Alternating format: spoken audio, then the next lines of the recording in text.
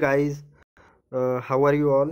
Um, mm, so let's uh, begin with the next administrative thinker uh, that is chester barnard. So this is uh, something about him. Chester barnard is uh, known as a spiritual father of social systems school of management. So see the we know that we are right now going through human school relations thinker thinkers and he is one of them. So uh, we will discuss further why he is being considered as a spiritual father of social systems. Okay? So these are some of his you know uh, seminal works. In the functions of executives 1938 and uh, organization and management 1948 so uh, he has uh, um, opined that uh, cooperation is founding stone of organization people organize themselves to do the things they cannot do alone. According to chester barnard uh, cooperation is the basic element the fundamental thing that uh, any organization should you know have should have. And uh, mm, it is a thing that uh, mobilize the whole organization. Mm, so next move on to the next slide. Formal and informal organizations so this is very important. Uh, you must uh, uh, understand uh, mm, the meaning of both and uh, how both are you know complementary to each other. So see both are complementary to each other. No one exists individually okay? What is formal organization? It is a system of coordinated activities or forces of two or more persons. It refers to the structure of well defined jobs and responsibility see uh, so uh, I, I think uh, we should take an example uh, uh, let's take an example of uh, police administration. Uh, see we have seen that uh, there is a uh, system of coordinated act coordinated activities. The orders flow from top level to the lower level uh, or forces of two or more persons. If police is uh, um, itself is a organization of uh, you know mm, numerous uh, numerous personnel who who uh, who are working in it. And it refers to the structure of well defined jobs and responsibility. Yes jobs and responsibilities of the constable the head constable the inspector everyone is uh, you know prescribed with his duties uh, thoroughly. Everyone understand what are his duties that he need to be he, he or she needs to be fulfilled so let's move on further there are four pillars of formal organization. And the first one is division of labor. That is very true. We have discussed that. There are there are constables there are head constables in police administration. Scalar and uh, functional process. Hierarchy is there. Ig is there and uh, the dig is there. Director general of police and uh, below them all the you know dsps sps all are there so this is how the administration works. The structure is the some like likewise thing. The span of control. This is very important. This term uh, the span of control what does it mean?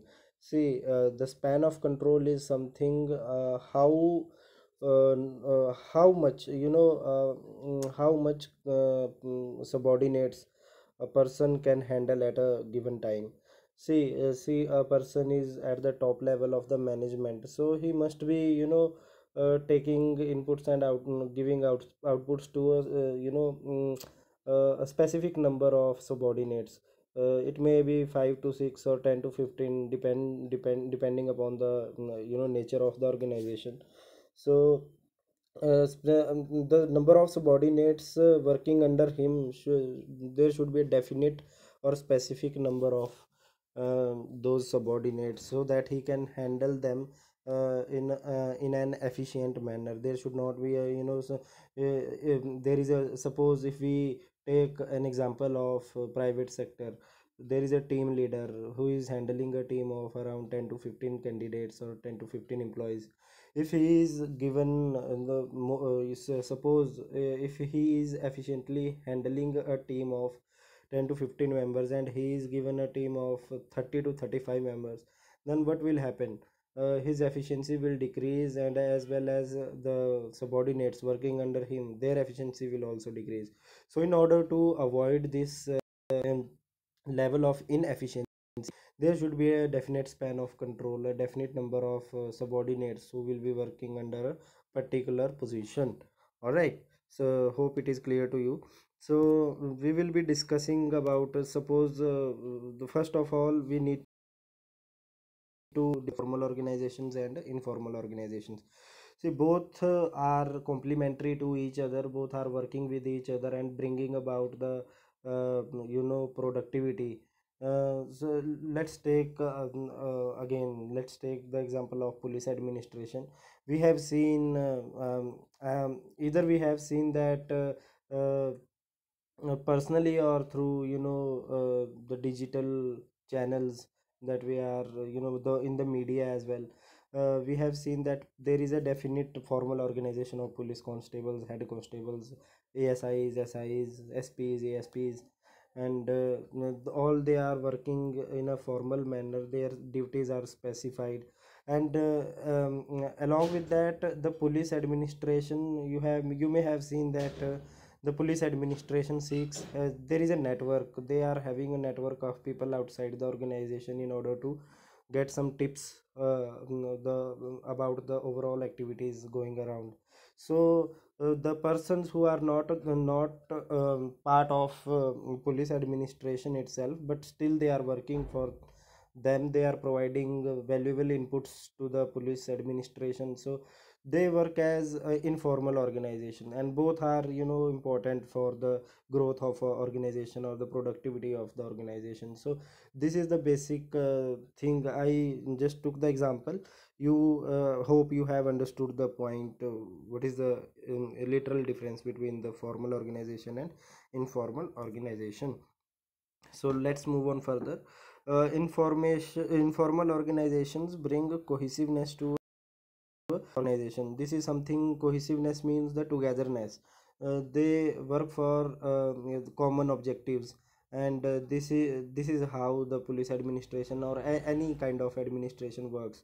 So this is the uh, work of uh, informal organizations to bring cohesiveness.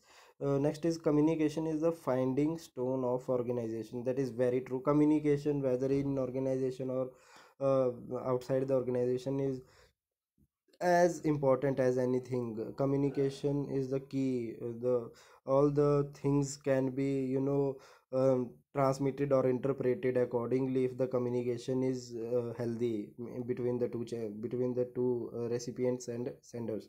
So this is very important. Next is it requires uh, people who can communicate with each other. Obviously the people who uh, can communicate with each other. Only those kind of people are required in an organization to work for it. Even authority is also a form of communication. That is also true. Let's move on further. Seven features are must for communication. What are those? The first one is channel should be definite. Okay there should not they, they, it should be you know uh, kind of uh, uh, there should be transparency that uh, through which channel and orga- organization is uh, coordinating with each other. See if we take an example of uh, private sector email the official email works as a definite channel for the communication. Everybody should know about channels. Yes everybody is aware of the channels. Everyone should have access to formal channels. Yes that is also important. Line of communication should as short as direct as possible so this is true. Uh, there should be you know looping kind of method should be there that uh, there should not be like you know uh, a person can communicate with the uh, specified person only. Yes if uh, he should be liable to work with the or to communicate with the any of the person within the organization through formal channels. The competence of person serving as communication center should be in a fifth point we are uh, focusing on fifth point now. Competence of person serving as communication center should be enough. Okay so the person which are managing or handling the communication channels the working of communication channel suppose let's take the example of private sector. There is an official mail everyone is provided with the, his personal uh, mm, official mail and uh, they will be communicating uh, throughout uh, mm, their tenure of job with that particular email id so uh, the there is a backend team it team in any uh, in uh, each and every organization who is providing those uh, uh, email ids to the new joinees and uh, uh, making them uh, you know making them working or active. So this is uh, mm, that this is specified here that competence of person serving as command center should be enough the persons uh, who are handling the communication channels in an organization should be competent and uh, they should be you know skillful uh, in their uh, mm, specified task. Next is line of communication should not be interrupted while communication in i, I think this is uh, self explanatory every communication should be authenticated. Yes if, mm, if we see the official mails are um, itself um, official mail is itself is uh, authenticated mode of communication. So let's move on further. Concept of authority. This is very important. Uh, it is a bottom up approach depends upon the acceptance of orders acceptance of subordinates. So according to chester barnard what he has specified here that it is a bottom approach not up to bottom approach. Uh, it uh, you know can be justified from uh, lower level to top level not from top level to lower level. Why? If the order is not accepted then it it is not meant to be called as order. So it is obvious that if the order is accepted only then it is it can be termed as order. So mm, it is important that acceptance orders uh, orders should be mm, uh, should be there. Uh, what is next? Two types of authority. Subjective. So what is subjective authority? How subordinate interprets those orders see the orders are being uh, uh, flowed by or uh, imposed by the higher authority. And how the lower level of the organization are mm, um, uh, lower level of the organization is uh, interpreting those orders. So this is called as subjective uh, authority. Next is objective willingness to respect superiors. Uh, this is obvious if uh, there are employees who are loyal to their bosses and uh, the, the, there is a mm, you know volunteer uh, willingness towards the superiors to respect their respect their orders. So this is called as objective authority fiction of authority. Subordinates uh, accepts order due to fear of rejection among other employees while one who gives order think it's because his influence. So although reasons may be different of accepting or giving the orders everyone has their own understanding. See what actually happens is uh, mm, uh, see if we take an example of any organization uh, uh, uh, suppose the orders are being imposed or uh, mm, orders are being directed by the higher authority and uh, mm, uh, what is uh, what actually happens is the lower level accepts those order due to the fear of rejection or maybe the fear of termination. They can be terminated if they they will not follow the orders. So this is something mm, that is why the lower level of the organization accepts those orders. But uh, um, the person who is uh, delivering those orders he thinks that it is because of his influence among uh, among the, uh, among his subordinates. So although the reasons may be different of accepting or giving the orders but everyone has their own understanding so it is very important. Everyone has their own understanding. Everyone uh, interprets the orders in his own way. And uh, the person uh, whose orders are being accepted uh, he takes it uh, in some other way. So mm this is how it works. Contribution satisfaction equilibrium. This is also important. Employee contributes and in return organization satisfies him with salaries and incentives there must be an equilibrium or balance. So uh, what happens is why everybody is working in organizations to you know fulfill his uh, um, fundamental needs. So and uh, why organization is paying salaries to the employees? Because in return they are working for for that organization. So this is how things work and there should be an equilibrium between the two. So let's move on further. Types of incentives what are incentives? Uh, incentives are something which uh, an employee gets in return uh, as he works for the organization. So what are the types of incentives? Uh, first one is material. What is material? Material means the salaries the money what he receives after you know working for an organization. Non-material that is recognition prestige and distinction. Suppose someone is working in uh, uh, the, let's take an example of military someone is working as lieutenant in uh, army. So the, he must be having that kind of recognition prestige and distinction in his organization. So this is something uh, uh, non-materialistic. Mm, uh, next is desirable physical condition of work. That is also important. See there are um, ambitions. Everyone ha- has ambitions uh, pertaining to his futures. As a you know um, mm, uh, as a students as students we are working for our future. We are studying to crack some exams and uh, uh, in return we will get a very good job there. And uh, there are ambitions someone is having that uh, someone likes the uniform jobs and someone likes some other kind of jobs adventurous kind of jobs like in a army uh, air force or uh, in navy. So, so if a person is getting this environment according to his desire that is something beyond uh, materialistic incentives. So this is also important. Ideal benefactions altruistic services patriotism.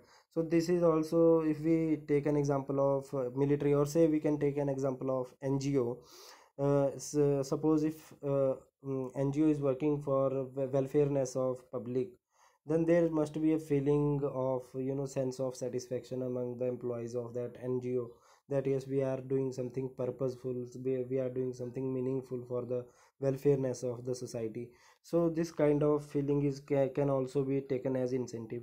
Next is material rewards are ineffective after a subsistent level. Yes that is very true.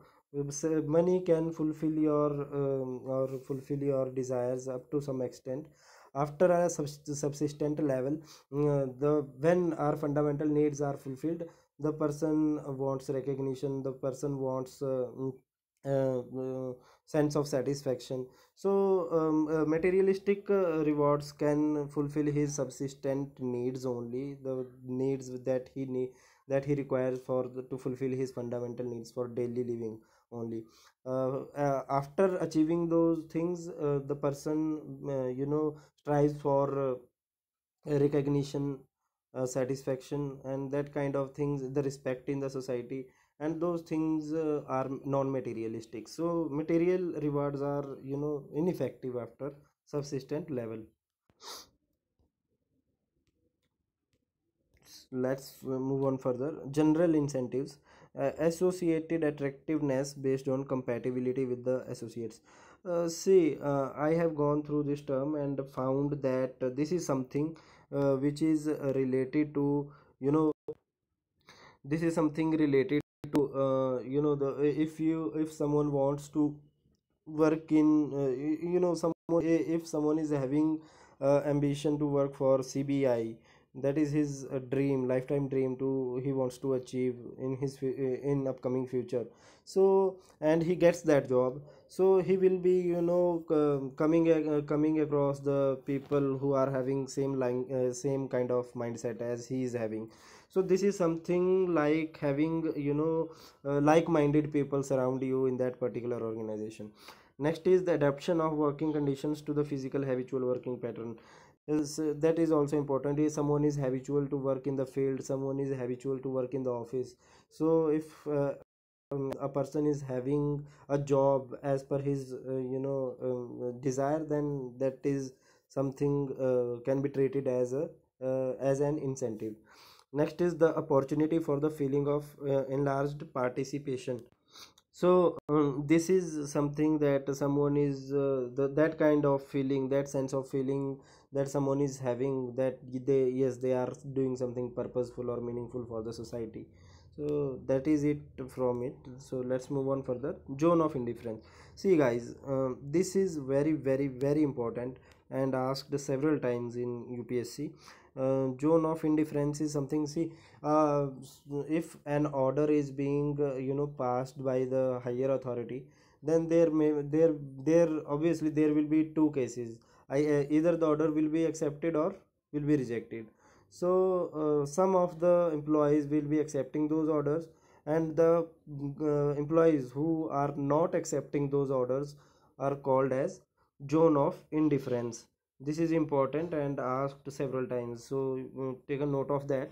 And the persons who are uh, mm, uh, not um, you know there should be uh, what what is suggested here superior must give those orders only which falls inside the zone so the orders should be of that kind that uh, they will be accepted um, uh, accepted by majority of the employees. So all the orders should be like that that they should not fall outside that particular zone. Okay? So hope it is clear to you. Functions of a leader. Leadership depends upon three things. What are those? Individual follow followers and conditions. The individual individual one who uh, you know that is who is leader and the second is followers who is uh, accepting his orders and third is condition the working conditions. So i think this is self-explanatory. Uh, functions of executives in organizations. The first what are the functions of executives? Maintenance of communication network specifying duties defining organizational structure so these are some of the functions of uh, executives. Securing essential services from individual maintaining morale training and education. Yes that is the function of executive. The formulation of organizational purpose. So this is important to you know bring about that cohesiveness in the organization the sense of cohesiveness among employees to bring about uh, their attention towards a common goal of that organizational goal. So that is something that is the can be treated as a function of or uh, executive. Next is decision making. This is very important. Uh, let's see what is uh, given in it. Uh, organizational decision making rather than individual decision making. That, that that is very important. There should be you know the uh, order should be the decision making should be uh, you know should come through the impersonal decisions. uh, the, it should fulfill the uh, all uh, it should fulfill the organizational interests not someone's personal interests who whoever is giving those or who is involved in that decision making. So the person who is a decision maker should subordinate his personal interests uh, uh, against uh, the individual interests. So individual interest should be kept at a higher level decisions made by organization are more rational and logical yes. Uh, more more logical if the you know uh, see that how the decision making is done in organization there is um, mm, uh, there is a deliberative that deliberative conferences happen uh, through you know mm, proper discussions over a particular thing and after that the conclusions are uh, interpreted into the decisions so uh, this is how the decisions are ma- made in an organization. Impersonal decisions made by organization yes impersonal the person who is making those decisions should not fulfill his own interest. Rather he should you know keep in mind the organizational interests in mind. More explicitly stated that is very true uh, the decision should be explicitly uh, explicitly uh, stated. That there, there should be proper explanations uh, backed by um, those all the decisions whichever is passed by the organization they should be backed by proper uh, you know justification to it or proper just proper explanation to it. Next is deliberative conclusion that we have discussed that there should be a team making decision that uh, discussion should happen uh, the between the members of the team. And then only then the decision should be made. Organizational decisions can be delegated while personal can't be delegation of uh, mm, decisions is something that uh, giving uh, someone's authority to mm, uh, the lower level of the organization. So this is this kind of decisions organizational kind of decisions can be delegated while personal can't be. Organization are specialized. Yes organization is meant to fulfill some specific goals. So yes their decisions should also be specialized so this is it from the chester barnard thinker. Uh, thank you guys. Uh, hope you are liking these lessons. If so then please rate uh, and recommend to your friends also. Please uh, subscribe to the channel and like if you like the video. So thank you so much guys. Have a nice day